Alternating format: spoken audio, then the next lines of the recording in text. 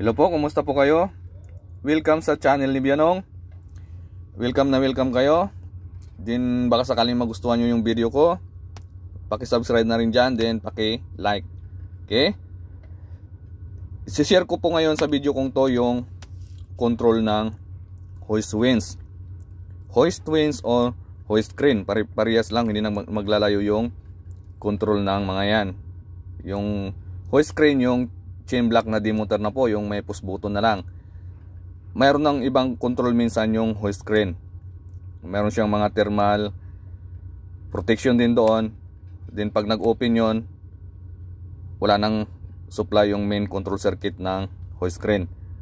Ang hindi po magkalayo, hindi po magkalayo yung hoist crane and hoist winds kasi pareha sila minsan mayroong breaker, di ba? Then yung control na to parehas lang din ng reverse forward na ordinary. Then ito dinirect lang natin sa contact. Contact ng dalawang normally close ng dalawang magnetic contactor ng forward and reverse. Diba? Then mayroon na rin silang interlock. Bali binaligtad natin yung dinaan sa dalawang magnetic contactor. Pag nag-close yung isa hindi na kuklose yung isa kasi open na yung contact. Okay? Parang reverse forward na ordinary. Ang pagkakaiba lang po, yung reverse forward, mayroong holding ng coil. Nag-hold ng coil na contact na normally open. Ito po hindi na, direct na lang natin sa normally close nilang dalawa. Okay po? Si-share ko to sa inyo. Lalo na sa mga bago, laging sinasabi ko, isi-share ko yung mga videos ko para naman makunan nyo ng ideya kahit hindi perfecto yung videos ni Bianong. Okay? Ayan yung main power ko. MPCB or motor protection circuit breaker ang ginamit ko. Ayan, lagi ko pong ginagamit. Ganyan. Then, ini-endorso ko na rin yan sa inyo na mas maganda yan. Lalo na yung ibang ginagawang up and down. Wala nang thermal overload relay. Ganito na lang yung gamitin nyo. May medyo mataas-taas lang presyo siguro pero mas maganda siya sa molded case circuit breaker. Hindi ko naman sinisira yung molded case circuit breaker. Kasi advanced na po siya. Mayroon na siyang settings ng amperahe dito. Mayroon na siyang thermal control dito na pwede nating i-settings. Yung amperahe niya depende sa in-order nyo kung ilan yung kapasidad ng yung current capacity niya na makokontrol. Okay po? Yan tulad niyan 17 to 23 ampere Halimbawa yung motor natin, nasa kalagitnaan nila, nasa 18 ampere, mas maganda to. Or 15 ampere yung motor. Or sa 10 ampere, di ba? Kaysa sa gamitin natin na molded case, 50 ampere or 30 ampere, napakalayo ng allowance. Okay po? Uh, sinishare ko lang din sa inyo. Kayo na kung magustuhan nyo o hindi. Kaya sinishare ko lang yan sa inyo. Tuloy tayo dito sa diagram. Ayan, galing sa MPCB sinuplayan ko na yung line 1, line 2, line 3 ng forward magnetic contactor or up. Then, ginamperan ko lang yung line 1, line 2, line 3 ng reverse magnetic contactor or down. Then yan, yung thermal overload relay niya.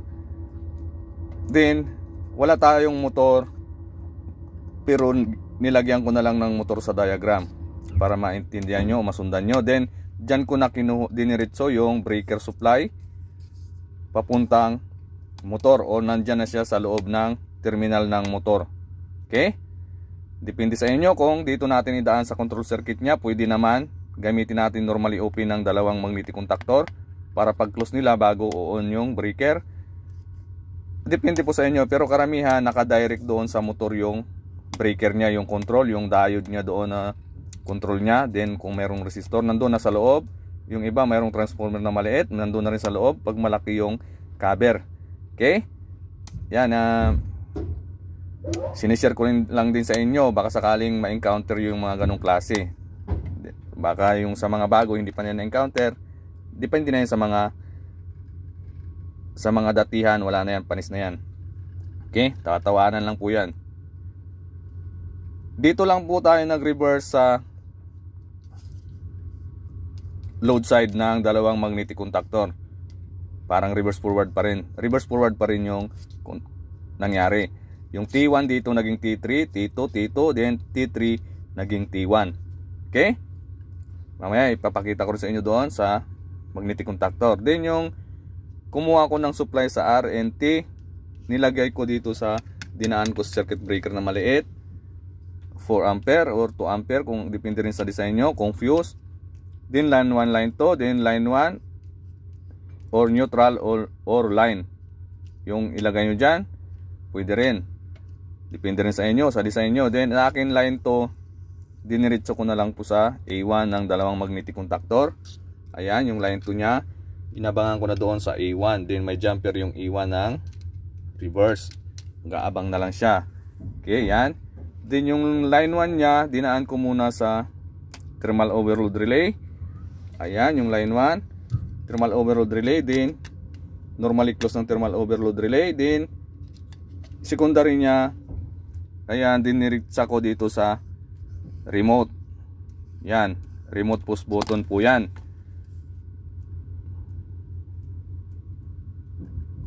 Yan po. Remote push button na ito yung red ayan yung red nagaling thermal overload relay ginawa kong common dito sa push button then normally open ng forward or up then normally open ng down or reverse. Okay? Ngayon galing sa push button ng forward or up dinaan ko muna sa it, sa reverse na magnetic contactor normally close nya para sa interlock natin.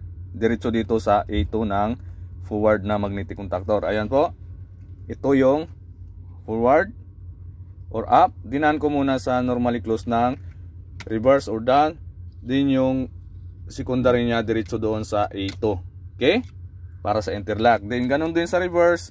Dinaan ko rin sa normally close ng forward. Papuntang reverse na A2. Ayan po. Reverse. Galing dito. Dinaan ko sa normally close niya. Then ayan diretso sa A2 niya. Pag pinos natin dito yung forward, gagana na yung A2. Pag binitawan, open din siya. Ganon din yung reverse. Diba? Ito yung interlock din na sinasabi ko. Then, yung push button mayroon ding interlock. Ito, mayroon din siyang interlock. Pag pinos natin to, hindi na natin mapush to. Okay? Kagandahan ng uh, remote na push button na yan. Okay po? Then, dito tayo sa power line, power circuit. Line 1 niya, line 1 lang din. Yan, jumper lang din doon sa line 1. Line 2, line 2 lang din. Line 3, line 3 din. Dito nag-reverse sa line 1, ginawang line 3 sa kabila. Line 2, line 2 pa rin. Then, at T2, T1, I mean, naging T3. T2, T2 pa rin. Then, T3, naging T1 po. Then, ito na yung thermal overload relay. Walang UVW na dito, papuntang motor natin. Okay? Nasundan na siguro. Ganyan lang po kasimple yung up and down. Kagaya lang din po ng reverse forward, yung pinagkaiba, yung up and down, wala na po tayong normally open na mag-hold ng coil nya. Ito direct na lang po sa push button. Dinaan lang natin sa interlock ng dalawang magnetic contactor. Normally close nila yung ginawa nating electrical interlock. Ayan, baka sakaling magustuhan nyo, pwede nyo yung i-screenshot dyan sa video, i-post nyo, din screenshot, sa mga bago yan, isi-share ko sa inyo. Kayo nang bahala mag-design ng supply ng breaker nyo. Baka sakaling iba yung voltahe dito sa panel maglagay ng transformer din supply tayo doon sa loob ng motor. Okay? Depende na po yan sa inyo. Yan na design ko lang yan. Design ko lang yan. Kung bahala kayo kung sundin nyo yan. Kung ganyan din yung nas katulad sa ginawa nyo, ginagawa nyo. Ganyan lang siya kasimple. Okay? Marami pa akong mga videos na ilalabas. Sana uh, suportahan nyo yung malit na channel ko. Ginawa ko po yan para makashare ng kunting ideya. Okay po, sa katulad kong mga bagong elektrisyan hindi naman po ako talagang master talaga. Yung sinishare ko lang yung mga na-encounter ko. Baka sakaling ma-encounter din ng mga baguhan dyan nagsisimula. Di ba po? Lalong lalo na kung gusto nyo mga ibang lugar. Sakay ng barko Okay, marami akong i-share sa inyong mga video. Kahit hindi perfecto kunan nyo ng ideya, siguradong magagamit nyo sa trabaho.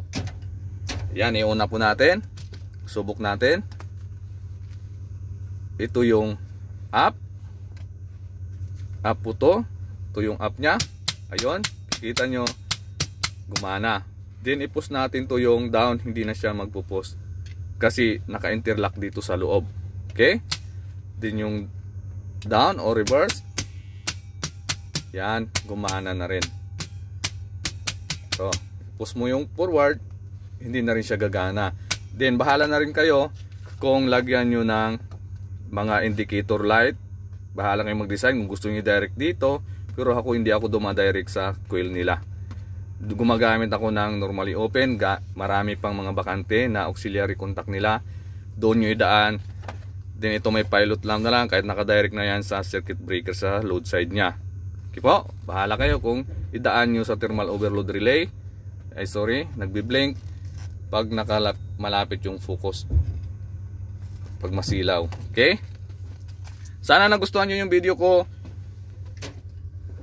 Kung nagustuhan nyo, paki-subscribe naman. Kung bago lang kayo, din paki-like. Mag-iwan na lang kayo ng comments kung minsan na uh, hindi perfecto yung paliwanag natin para ma i-correct natin.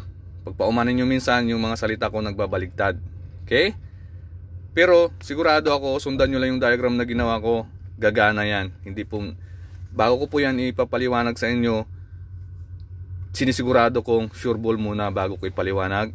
Kipo, para hindi rin tayo madisgrasya. Baka sakaling magkamali, i mahirap na rin.